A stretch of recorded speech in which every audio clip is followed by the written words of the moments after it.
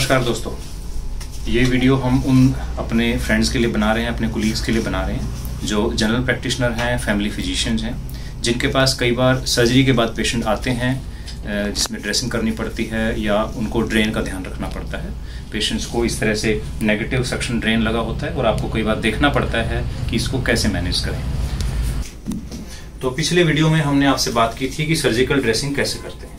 तो आज हम बात करेंगे कि ये जो नेगेटिव सक्शन ड्रेन कई पेशेंट्स आपके पास क्लिनिक्स पे आते हैं और वो अपने सर्जन के पास आजकल कोविड की वजह से नहीं पहुँच पाते हैं तो आप लोगों को इसका ध्यान रखना पड़ता है। तो आज इसके बारे में डिटेल में बात करेंगे। नेगेटिव सक्शन ड्रेन में ये पाइप है जो सर्जिकल साइट के अंदर जाता है। इसके एंड में एक बॉक्स लगा होता है जिसमें हम नेगेटिव सक्शन करते हैं। नेगेटिव सेक्शन की वजह से अंदर जितना भी फ्लूड कलेक्ट होता है क्योंकि बहुत सारे पेशेंट पूछते हैं कि ये क्यों डाला गया है? ये ब्लड क्यों आ रहा है? एक्चुअली जो अंदर जब भी हम ऑपरेट करते हैं तो फ्लूड कलेक्ट होता है। अगर फ्लूड अंदर रहेगा तो वुंड की हीलिंग लेट होती है और इन्फेक्शन के चांसेस होते हैं।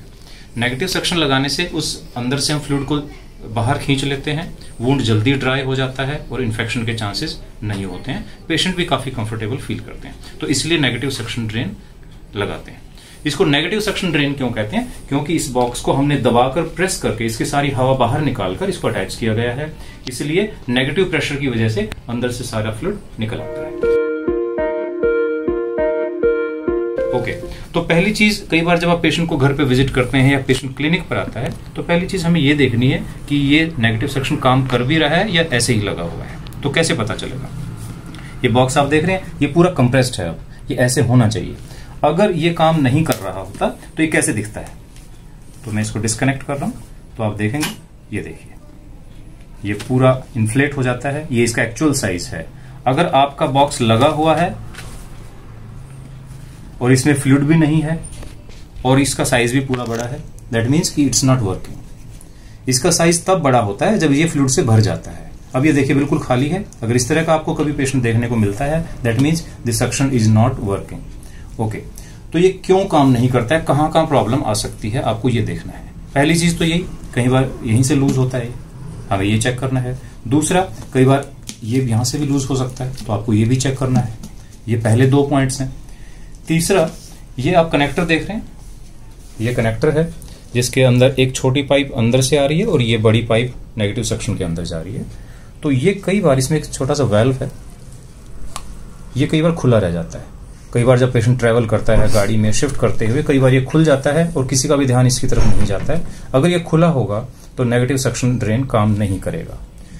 नेक्स्ट यहाँ ये जो पाइप अंदर जा रहा है, इसमें एक ब्लैक मार्किंग होती है। मैं अभी आपको दिखाऊँगा जब इसको निकालेंगे हम। अगर वो ब्लैक मार्किंग आपको बाहर दिख रही है कहीं पे, इस तरह से दो ब्लैक मार्किंग होती है। अगर वो कहीं बाहर है स्किन से that means drain is not working उसको स्किन के अंदर होना चाहिए। अभी हम आपको दिखाएँगे। ऑल राइट कई बार हमें इसको खाली करना होता है। पेशेंट आपके पास आता है, ये पूरा भरा हुआ है, आपको खाली करना है तो आप कैसे करेंगे? तो जैसे मैंने बताया, इसको हम डिटैच करेंगे, लेकिन डिटैच करने से पहले लॉक लगा देंगे। ये लॉक है। ये ऐसे खुल जाता है और ये ऐसे लॉक हो जाता है। तो जब भी आप इस बॉक्स को खोलेंगे, उससे पहले ड्रेन को लॉक कर देंगे। तो इसको यहाँ से हटाना है आपने, यहाँ से डिटैच करना है और उसके बाद आपने हमेशा ग्लव्स पहने होने चाहिए। जब भी हम इसको हैंडल करेंगे ड्रेसिंग को हैंडल करेंगे ड्रेन को हैंडल करेंगे तो आपके पास ग्लव्स होने चाहिए। तो इसमें हमें सबसे पहले देखना कितना ड्रेन आया है। क्योंकि एक बहुत इंपॉर्टेंट चीज़ है ये देखना और डॉक्यूमेंट करना कि कितना ड्रेन है। तो आप एक फिंगर यहाँ रखेंगे इसको ऐसे हॉरिजेंटल करेंगे। तो इसमें बहुत अच्छा नहीं दिखाई दे रहा लेकिन ये मार्किंग्स होती है। ये जो फ्लूड का लेवल है ये 50, 100, 150 इस तरह से ये इस तरह से मार्किंग्स होती हैं। तो आपने यहाँ पर देखना है कितना है, और उसके बाद इसको खाली कर देना है। इसको खाली करना है या तो येलो बिन में या टॉयलेट में। कुछ लोग इसको, इसमें पानी डालकर इसको वॉश करके वापस लगाते हैं। वो गलत है, क्योंकि पानी अनस्टेराइल होता है और हमारा बॉक्स वुंड के साथ डायरेक्टली कम्युनिकेट कर रहा है। तो कभी भी इसको पानी से नहीं धोना है, इसको वापस लगाना है।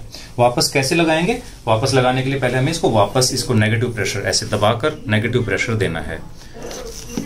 वो कुछ लोग गलती क्या करते हैं कि इसको ऐसे रख के इसको प्रेस करते हैं? तो इसमें क्या होता है? कई बार ब्लड आपके फेस पर आ जाता है और आपको इन्फेक्शन हो सकता है। तो इसके लिए दो लोगों की ज़रूरत है। जैसे मैंने प्रेस किया और जो मेरे असिस्ट इसको हमेशा किसी के भी फेस से, किसी से भी दूर रखना है कि किसी के ऊपर ब्लड ना जाए।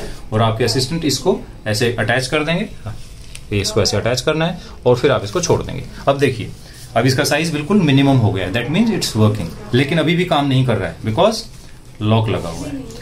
कई बार आपने नेगेटिव सक्शन चार्ज किया, लेकिन लॉक खोलना भूल गए तो that means it is still not working तो आपको हमेशा लॉक खोलना है ऐसे राइट ओके अब बात करते हैं कि इसको निकालना कब है। आपने फ्लूड देखा? अगर आपको लगता है कि इट्स लेस देन 50 40 एम है 30 एम है 20 एम है तो that means that is the right time लेकिन फिर भी अगर आपको कंफ्यूजन है तो आपको सर्जन से ऑपरेटिंग सर्जन से एक बार कंसल्ट करना चाहिए कि इसको निकाल सकते हैं कि नहीं निकाल सकते हैं। तो इसको निकालने के लिए सबसे पहले, निकालने से पहले लॉक करेंगे। नंबर वन आपके पास एक सर्जिकल ब्लेड इस तरह से। ये नंबर इलेवन सर्जिकल ब्लेड है और एक गॉज होना चाहिए आपके पास। बिकॉज़ जब हम ब्रेन को निकालते हैं तो कई बार उसके साथ एक क्लॉट भी आता है, जो पूरे एरिया को सॉइल कर सकता है। तो इस तरह से आपने स्टिच निकालना है और इसको पुल करना है। और राइट तो अब इसमें मैं आपको वो मार्किंग दिखाता हूँ जिसकी हम बात कर रहे थे।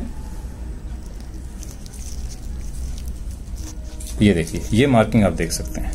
ये मार्किंग है।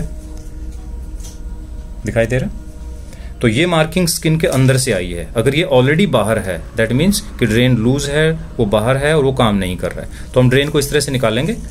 और जब भी निकालते हैं तो ये देखिए, ये क्लॉट इसके साथ हमेशा आता है तो ये कई बार पूरे एरिया को खराब कर देता है तो आपने क्या करना है? क्लॉट को ऐसे साथ साथ रोल कर लेना है। ये देखिए, अंदर से पूरा क्लॉट निकलता आएगा, और ये देखिए दैट्स इट इसको आपने क्लीन किया, और आपने इसको येलो बिन में डिस्पोज कर दिया।